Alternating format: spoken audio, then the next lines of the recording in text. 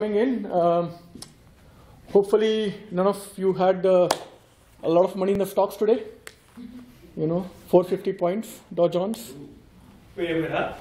Oh, It down. went back up or No, down? band down, down. Back down. Yeah, yeah, it's it's crazy. It's it's uh, much much worse than it was what two, days earlier. So good. So we are here for voice first. Anybody in the room? I did like this talk eight times now, and I met a lot of folks out there. But I think so. Nobody in the room heard. You know, this is the first time for everybody in this talk, for the voice first talk. Okay, wonderful, great. So here's my Twitter link uh, and my LinkedIn. If you want to connect later on, it's G Mishra, G for Gaurav, M for Mishra. Uh, straightforward, and both on Twitter and LinkedIn. gmishra.com for going to LinkedIn if you want to connect. Um, so, gonna talk about you know voice first uh, ecosystem. Um, I, I've, I've been working with a lot of enterprises globally, um, including you know Estee Lauder, related McKinsey Consulting, um, as, as a consultant to you know in, on their digital experience. Um, so we have some learnings around from that. So you know before we jump in, you know a couple of stats. Uh, so Gartner says you know this is a few years back, I think if I'm not wrong, 2017 when Gartner says by 2020, and we are at 2020 now you know, customers are going to manage 85% of the relationship with the organizations without interacting with the human, right? And we're seeing more and more, you know, digital interactions happening. Uh, you know, uh, this is a very famous quote. Uh, somebody said from Alibaba in one of the conferences way long back, you know, about three, four years back. Uh, and you know, Gartner and Forrester have a mixed view to it, right? Forrester agrees with this uh, stats that's saying that you know 50% by this year, by 50% of the searches would be voice-based search. Gartner says hmm, that would be around 30, 30 odd percent, something like that. But but still very relevant, right? Uh, for for for us to worry about it at least. Um, here's this. Uh, this is a very famous uh, innovation curve. Anybody anybody seen that curve earlier anywhere? This particular curve. It's called innovation curve. Gartner uses it all the time. You know, it's a, it's a pretty famous curve, right? So if you, if you look at this curve, right, and you can see at the top, it's pretty high up, but if you see at the top, you see blockchain right there at the top, which is at the peak as a, as a technology, right? You know, you have all, so this is called innovation hype curve.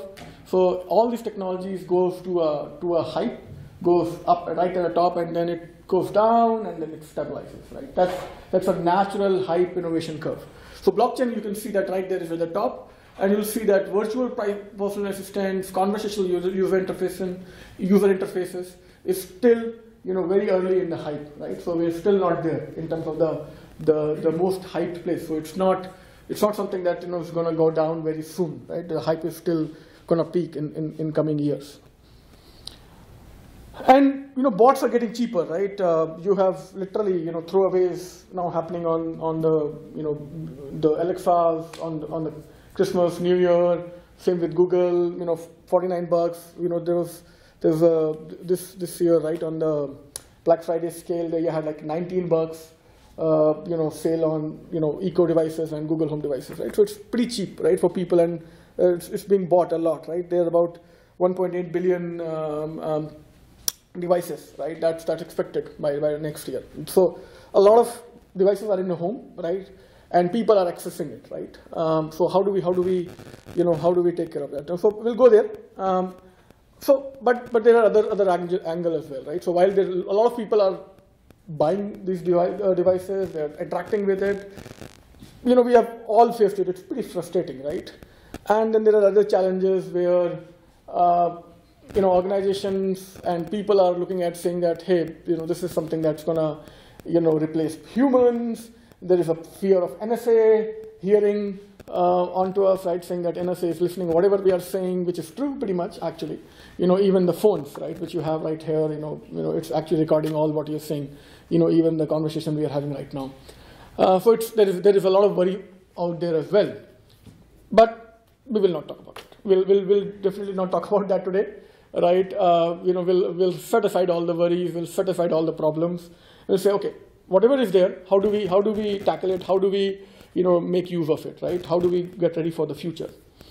Uh, and, you know, now I'm going to go a little technical. Now, what is, uh, you know, what is what is the difference, right, in, in terms of content, right, uh, and between voice world and the normal world, right? So there are two type of content, at least what we say from a content strategy point of view. The first one is the web-based content, which you all see, re read all the time, right, and another is a conversational content, right.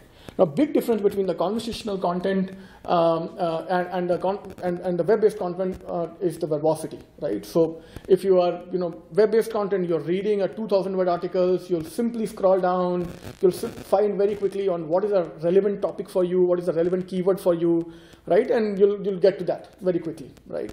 You can't do that on the conversational content, right? So it's very low verbosity, right? You have to be very, very contextual when, when you are, you know, building a voice centric content content, right? A conversational content, right?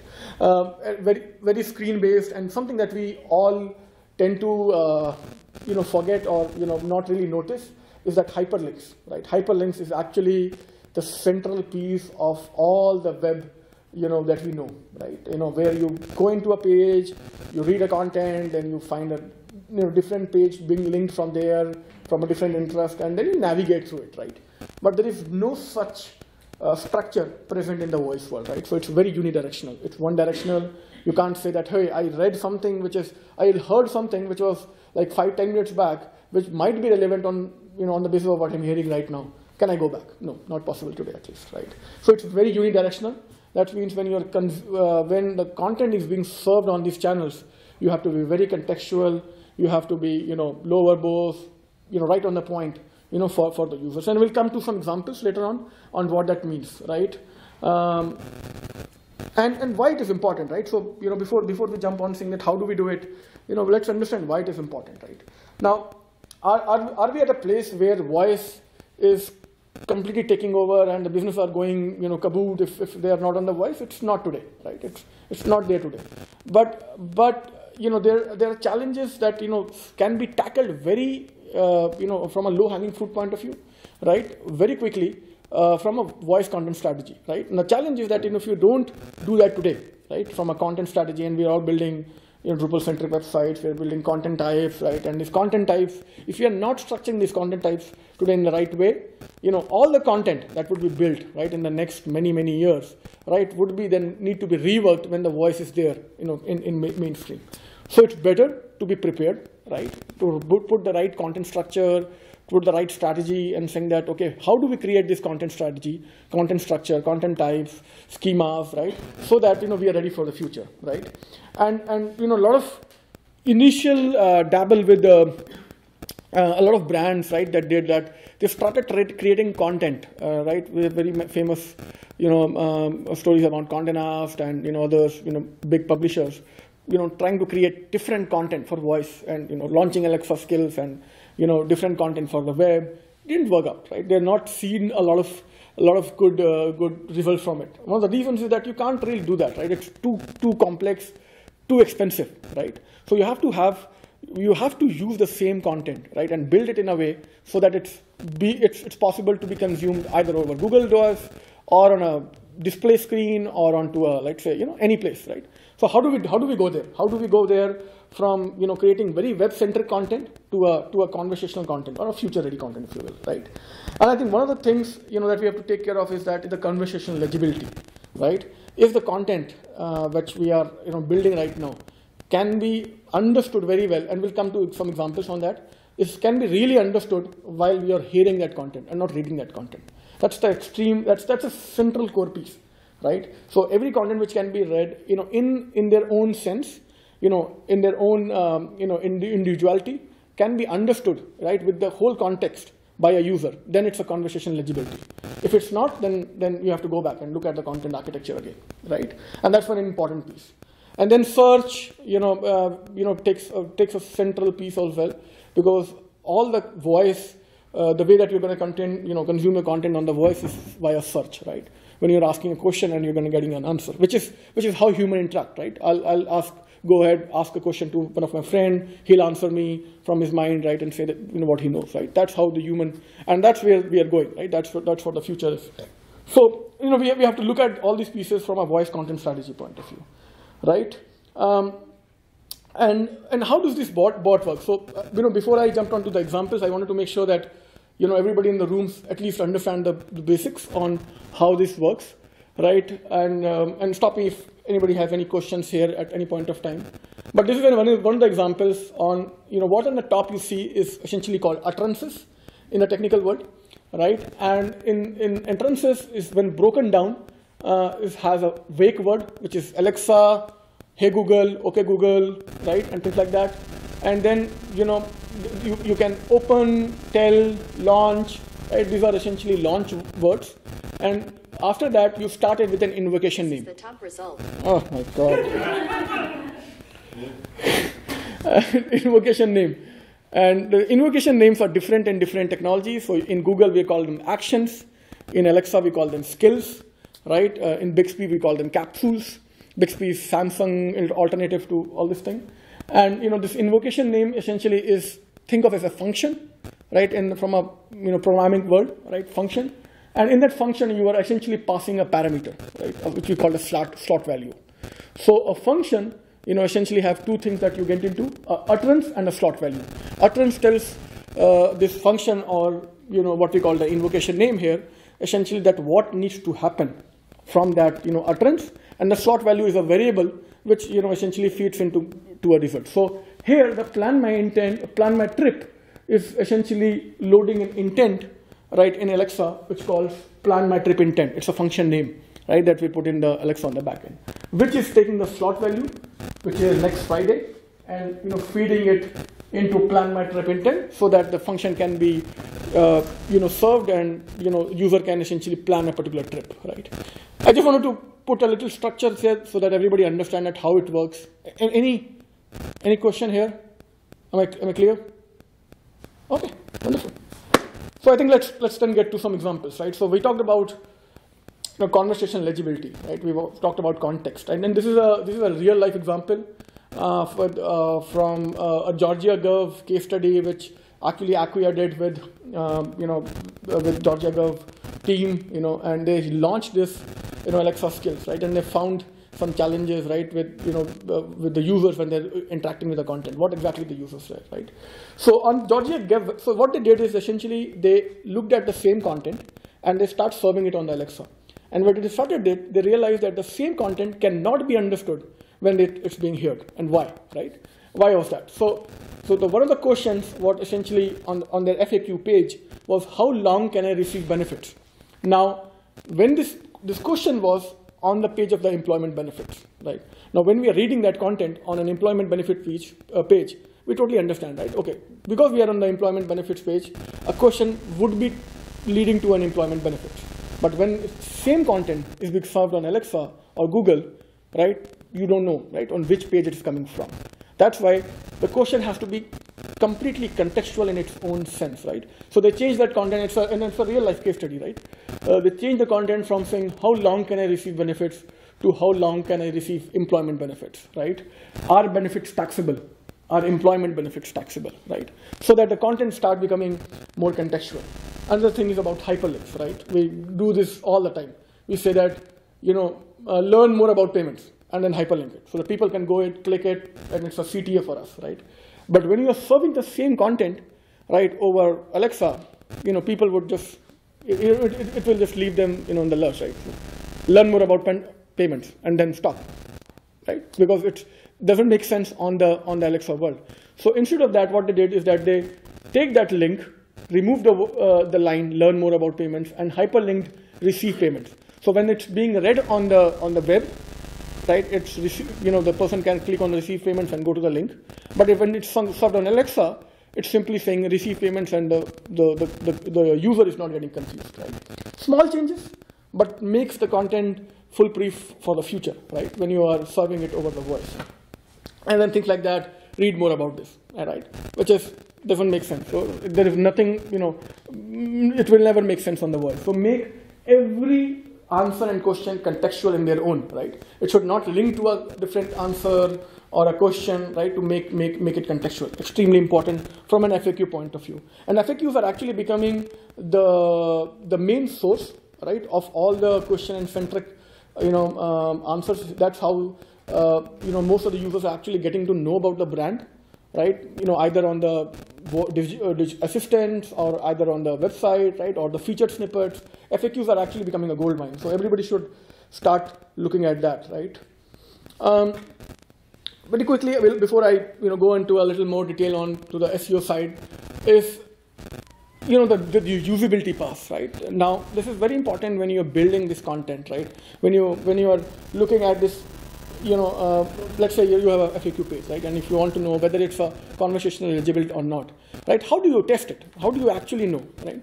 The the and there are multiple ways of testing different kind of content where you you know uh, looking at the the content, pixel perfect, multiple kind of you know QA QA ways. But in the conversational usability, the only way is essentially to give, which is called retrospective, retrospective, uh, sorry, retrospective probing, uh, where you give a problem statement to the user, right, and say that okay, you know, find an answer, right. If you don't do that, then you will not get your content right, right? And that becomes a, a very different way of how essentially a content is being text tested, you know, uh, than, than what we know. Anyway, so let's let's jump into a little more, um, you know, saying that you know how it's impacting, right? So this is a quick data, um, you know, I'm sure would you would have seen it somewhere, you know, that a lot of uh, teens and adults, right, are using it on voice, you know, while watching TV, while you know in the bathroom, uh, you know, it's it's it's it's it's very very common now, right? And, and let's move to a you know where where exactly this this this this voice search is happening. So you know it's very action oriented. So if you are driving, right, you will find to find nearest gas station, find pizza places, right? Near me, near me keyword is a very important keyword uh, nowadays, right? When you're building content, right? Because if you have the near me keyword, it actually ranks your uh, content very, you know, all the for this action oriented uh, search queries, right? Very real times, right? And you know, and very local, right? So you know, what is what time uh, you know the, the the parade is happening in New York, right? What time Halloween parade happening in New York, right?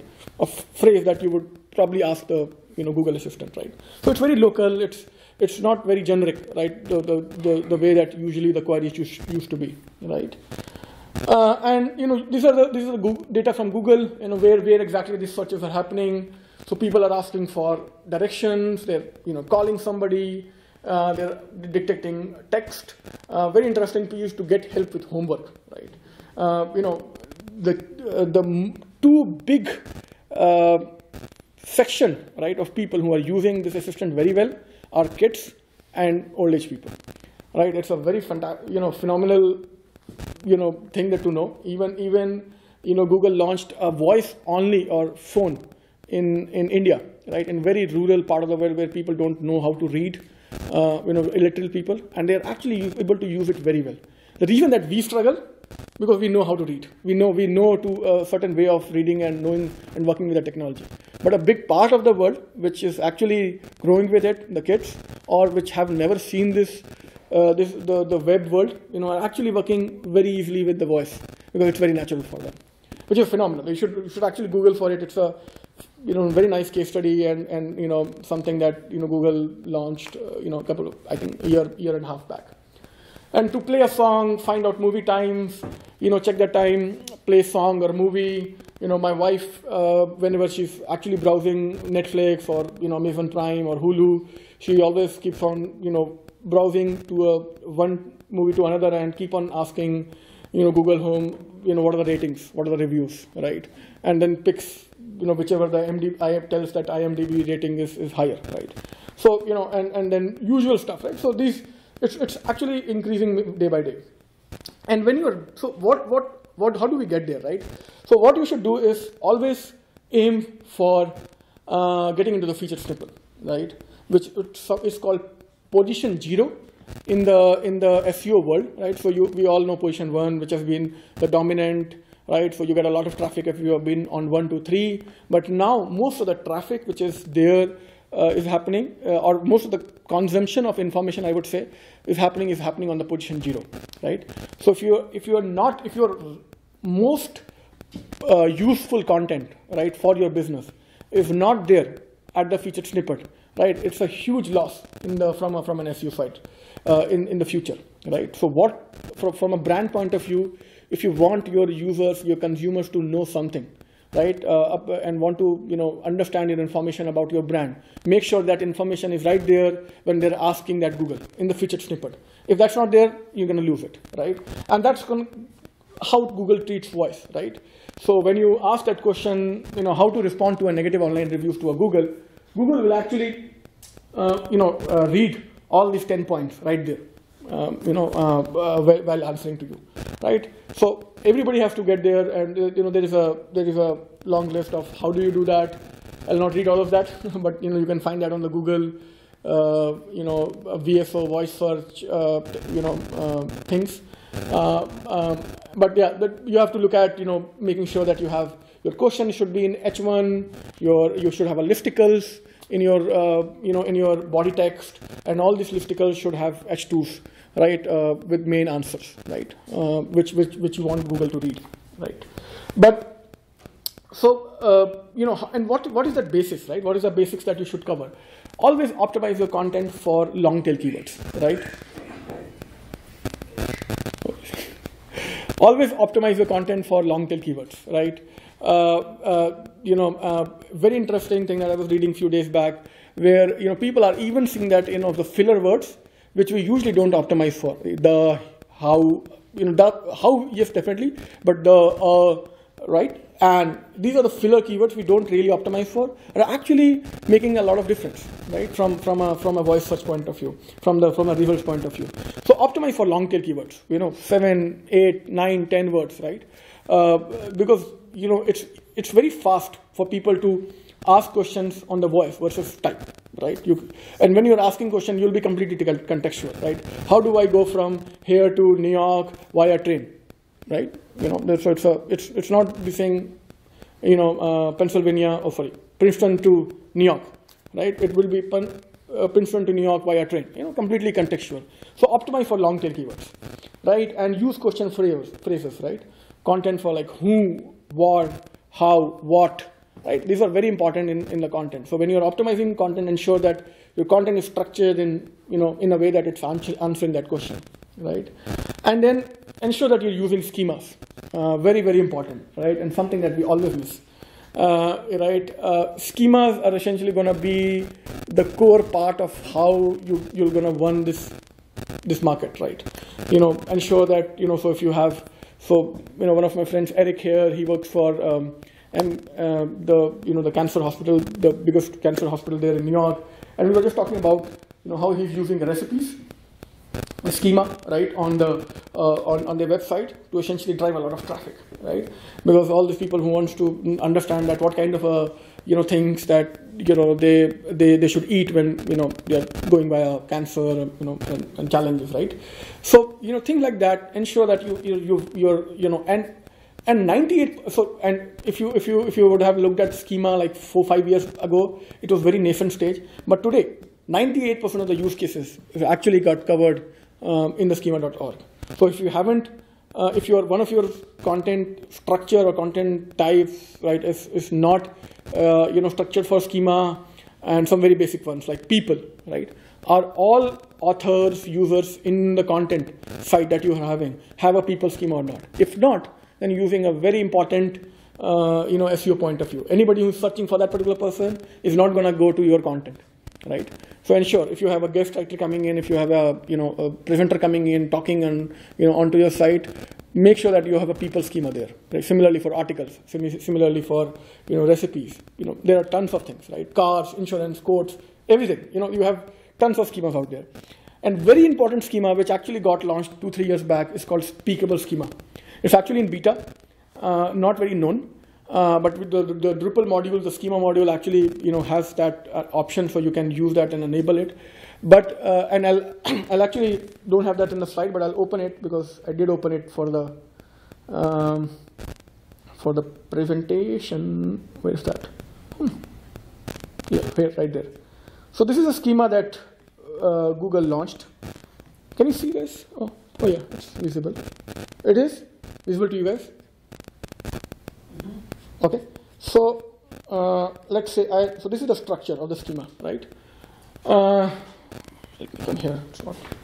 So, you know, uh, so whenever you are want a particular content snippet on, on your page, right, or your article to be served by a, by via Google Assistant, right, and things like that. Always use the schema, you know, for that particular page. So how it works is you have the context, which you know essentially says what you know this is essentially a schema context, and then you say type. And type can be a web page, it can be an article, but it says that what kind of you know page, page you are in, and then it says name. And name is essentially similar thing that you say keywords, right? In, in a very traditional sense, tags, if you will. But what is the topic, right? What is the topic around which you want that Google to, you know, pick up your answer in, right? So it can be a brand name, it can be a contextual, I whatever you know you, your business is around, right? Have that in the name, and then you know give a XPath, right? Give a give a it can be a CSS selector, it can be an XPath, which is pointing to that particular content which you want uh, you know Google to pick up. So Google is asking content creators to put that uh, you know um, you know in, into the schema, and this is right now Google says that is only for Google News, right? And the content that they are you know uh, serving on the for via Google News on the Google Assistant, but but you know, imagine that Google is asking for a structured content, right? So Google is asking for a structured content for a specific reason, right? Because they want to understand that what is a part of the question, of, because they are looking at going more and more, bringing more and more information on the featured snippet, right? They don't want people to go into a link inside and read the content, right? They want to give the user the information right there on the Google page, right? Or on the on the, on the device. That's their final motto, right? So Google is asking for it. So if you if you are sorry, somebody asked a question. No. Okay.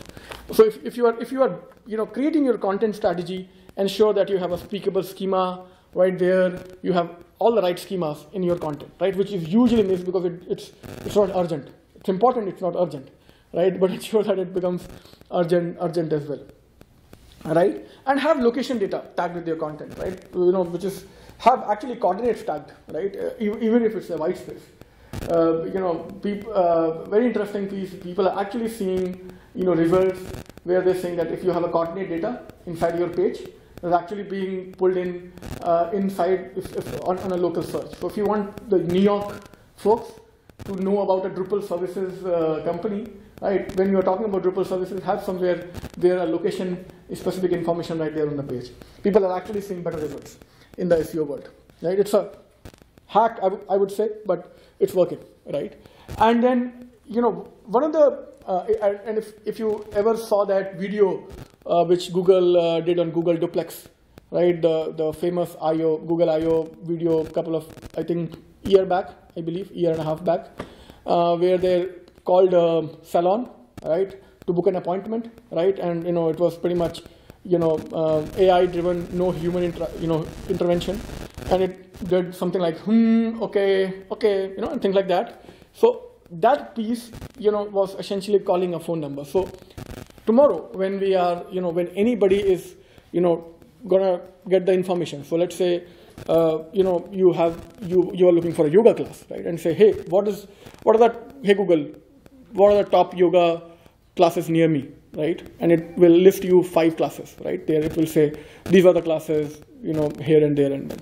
And then if you want to interact with that particular brand, with that particular yoga, you know, studio, you'll say, okay, call that yoga studio or contact that yoga studio. So the only way that, you know, uh, the CTA in this voice world is the call to action in the voice world is essentially a phone number, right? You know, it will become automated because of Google investing into a lot and making making it. There is a CallJoy services that Google launched, uh, where you can essentially have a phone number and AI onto it. But ensure that you know whenever you are building content, you know driving to your business, have a CTA there which is having a phone number. So have a talk to us button, which is you know having a phone number. You know tell HTML link right, TEL right. So have that phone number right there in your content so that the brand, the people who are you know actually uh, discovering you on the voice world can contact you very well right? Because that's the cta that's the only cta right? The other cta that google is doing is that it's saying that here's the answer and i've sent you a link to the google assistant as well. Right? That's that's another cta but usually that doesn't work very well. The, the final cta the final most cta would be essentially a phone number. And become more mobile friendly and becomes you know speed right? Speed is still very important. It's becoming going more important, right, from a speed point of view. So have you know optimize your pages for being mobile friendly, mobile friendly, and you know, as I said, you know, optimize it for for featured snippet. Um, already talked about it. So I think for a few case studies, right? Uh, J.P. Morgan, right, is uh, you know having a bank personal assistant, right? That's uh, you know helping about uh, you know three lakh. Uh, oh, sorry, in Indian, um, when I go back to the Indian all the time, but uh, you know almost like half a million, right? A little less than half a million, you know, uh, hours of work workforce, right? So, you know, there are organizations like JP Morgan, Tata Bank, uh, Tata Capital, HDFC Bank, it's a big bank in India, Capital One, you know, MasterCard, American Express, who are actually having, you know, these bots, you know, being really helpful from a, you know, customer service point of view, right? And even a lot of case studies are not out there, right? But if you're calling a United or American Airlines or your bank or Wells Fargo, right, and all these things, you'll see, you'll usually interact with the voice bot first, right, which will help you on, a, you know, on the first level. So, you know, banks are implementing it, everybody is implementing it, and it's going to be a big, big, uh, yeah, natural thing for everybody in the future, right? So, yeah, there are, there are a lot of case studies out there. But yeah, any, any I think this is pretty much, and, and there was a, a architecture platform. I was talking a little about bots last time. That, that's where that, that in the deck. But anybody interested in a, in a in a in an architecture diagram, I can talk a little about it. We did this for a uh, a Fortune 500, uh, you know, who had a lot of, who were a lot in the field, right, in, from a manufacturing point of view, uh, and, you know, they had essentially bots where they were having the structured and unstructured data, you know, uh, which we were putting in a, in a data processing layer, you know, processing the information, finding out intents and utterances through it, and essentially solving it through bots. Uh, very interesting work um, that we did like year, year and a half back. Yeah, any questions? Oh, that was quick. How much time? do we have to- Oh, oh, have fun. All right. I have like 10 minutes for, for any questions.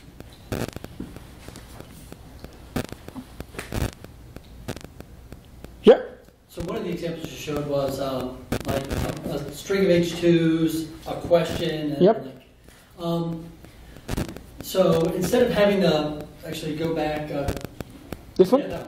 Yep. So instead of, if I wanted to have a section of the site, like what I have to put in for the title of the, the section, how to respond, or could I have it um, online resources, but then give it a, give that uh, title a, a title tag, so kind of, so not displaying the whole thing, but putting in the title tag, Correct. Yeah. full strength, does So- that have the same effect? Uh, not the title tag, but then what you're asking is essentially the speakable schema.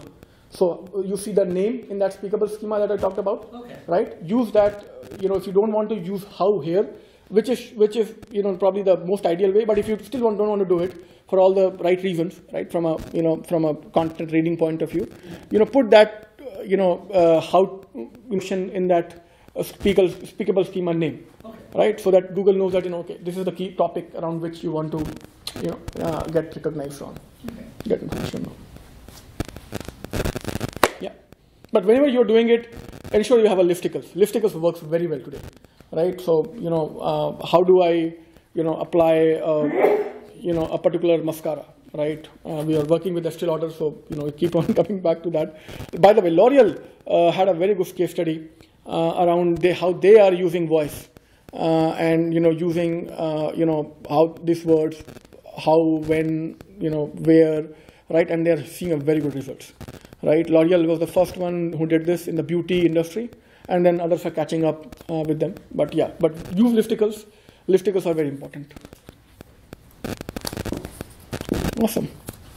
Yeah. Um, I wanted to know if you could speak to your, you know, in the future, how voice searches and uh, these type of products might uh, connect with the new ADA laws that are coming out. Do you see these uh, two fields blending together? Sorry, new what? Uh, like the new ADA guidelines that are coming out nationally. Um, do you see voice uh, features and capabilities being included? Uh, and what? Sorry, I'm not sure Oh, aware about new ADA just guidelines. make sure websites are accessible, but right now, the yep. standards are pretty general. They Uh-huh. don't speak uh, specifically to uh, Yeah. Voice. Got it. So And if you could repeat the question for the uh, recording, please? Yeah, sure, absolutely. So the question is that, uh, you know, how the voice and all this content strategy is going to work with the new ADA guidelines that are coming in, and how it will marry together very well. So uh, this, this, all this is actually a very important part from the accessibility point of view, right? Uh, now, the, I, am not sure about the guidelines, but I'll definitely go back and look into it. But you know, but understand that you know any word or any answers that in Google is optimizing um, for, right? You know, while serving a particular answer on onto the voice, is actually have to be contextual, right? So if it's not contextual, it's not going to rank, right? Now, if that means that it's actually you know, very uh, accessible for the people to understand it, consume it, right? Google, uh, while they're building their NLP in NLP NLU engines, and there, there is a video that you should definitely look at. They're actually talking uh, to people, and they're actually, you know, taking the people in consideration which are voice disabled, which stutter, right, which you know can't speak properly, right. So that's the goal that they're actually starting with, right. So they're building their NLU engine, keeping their people in the mind. So all the NLU engines you know, they're, they're looking at a 98% accuracy with the people of, you know, speech disability, right? That's the goal that, you know, they're in and they're, they're, they're doing pretty well onto that. So uh, it's actually by design accessible, right? So if it's not contextual, it's, it, would, it would never rank on, onto the Google Voice in the first place. I, I can uh, speak to one thing. Um, when he was showing the links, the old and the new links, um, how making your links um, understandable when read is an important uh, accessibility goal. Um, you know, don't just have uh, click here to find out more, but have your link something that so when it's read out of context, the user will know where they're going.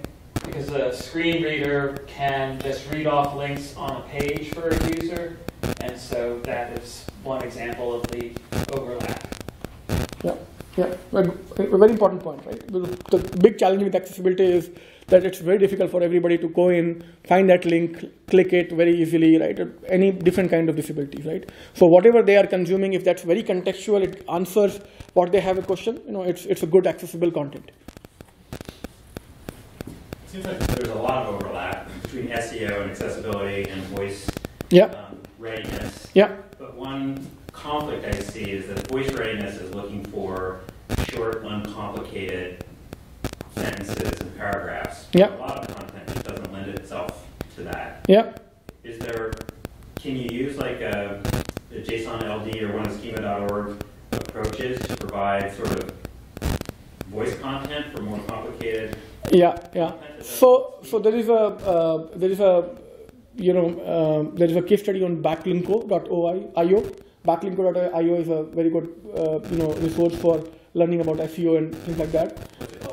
Back backlink co.io. So just say backlinko.io, you'll find it, right? It's a very very famous blog. Uh, so they did some study, right? And they essentially found out that the featured snippets, and this is a study about the about the featured snippets because that's where most of the you know traffic is going in, right? The position zero. And they find out that you know the, the content which is ranking on these featured snippets are actually 1200 plus words, right? Actually long form content. So it's not Google is actually giving more authority to the long form content than a short form content. So while you and it's and then it's and it's finding the parts which it needs to spell it out in that featured snippet. And that's where the speakable schema comes in very important. So you have to identify pieces which you want to be, you know, summarized into a, you know, onto the voice and put that in the speakable schema, right? And then whatever the rest of the content is, you know, can, can just flow in, right? And that's, that's important. And another thing is that use listicles. So listicles plus the speakable schema, you know, should cover most of the, the, the, the, the SEO part of the thing. So keep on writing the content that, you know, the way content is written, but ensure that, you know, it's either in the speakable schema or you have listicles so that it can be picked by Google. Does that, does that answer? It, it does. I'm just curious about the, the schema because my internet connection died. I couldn't look it up. Sure. what, is, what is that essentially? Are we? Is it like summaries of the content that's meant? Some area. Correct. Correct. Yeah. I'll, I'll, just go back again. I might probably did it very quickly. Um, so this is the structure, right? So so you this is right there on the on the head tag, right? And you know then you are defining. So you know, so for example, you know, uh, one of the things is said, right, title, right? So here you see that XPath right there is essentially saying, you know, to take a title for the speakable schema, right? So topic, right? So when uh, any, uh, you know, top question comes in about quick brown fox, so if I ask Google Assistant, quick brown fox, then don't take all the content for answering, but just take the title, right? So you are specifying that X path or the CSS selector or a part of the content and saying that you know when a topic, when a, when a relevant question comes in on my topic, which is the name right there, name quick brown fox, you know, take these particular part of the content and don't take the entire path. So it's telling Google exactly what what do you want to focus on, right, from a voice point of view. Thank you. Yeah. Any more questions?